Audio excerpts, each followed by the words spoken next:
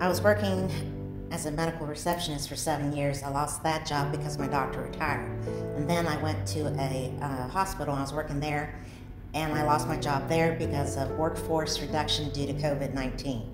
I was only there five months, so it was like kind of devastating.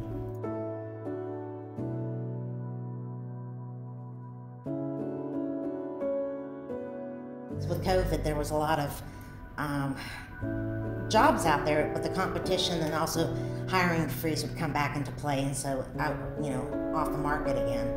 There's a lot of anger, confusion, uh, just kind of embarrassment that you lost your job.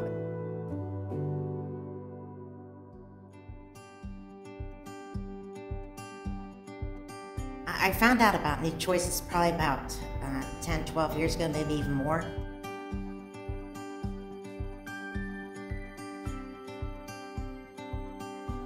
Uh, some of the things I learned from um, New Choices that I took um, was career uh, building, uh, resume rebuilding, um, also revamping it to put down the skills that you have, uh, to put it into wording.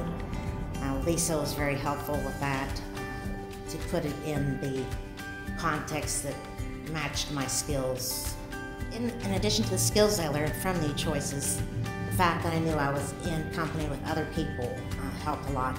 You could see them that were, you know, in a similar position to you.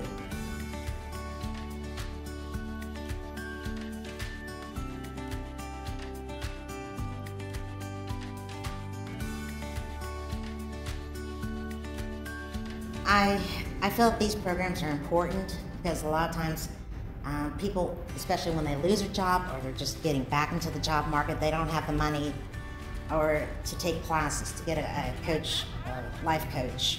It's also great to know that you're in a village, so to speak, a safe village, um, where you're not alone.